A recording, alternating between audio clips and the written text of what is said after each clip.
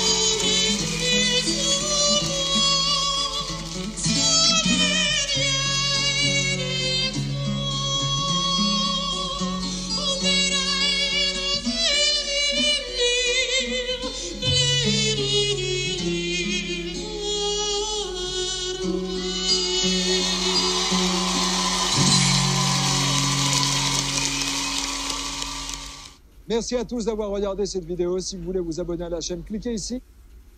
That was very different, and I actually really liked it. You know, I don't, I don't really even know what to say. He kind of had this like one man band thing going on. Uh, I've seen Melanie Martinez do something similar when she did her audition for The Voice US. Uh, but that was super cool. Just a super cool displaying of a talent that probably isn't too often like publicized or uh, isn't very popular in uh, a lot of the, these countries. And so that was just super awesome. It was a super awesome thing. It was surprising. Uh, a very cool instrument. I like the bells on his ankles. I just thought it was very almost gypsy and kind of uh,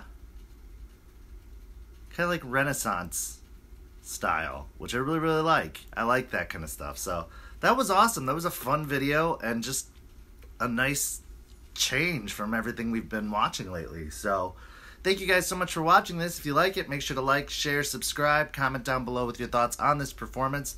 Then head on over to michikent.com to submit your requests and upvote requests you'd like to see. And I will see you guys on the next video.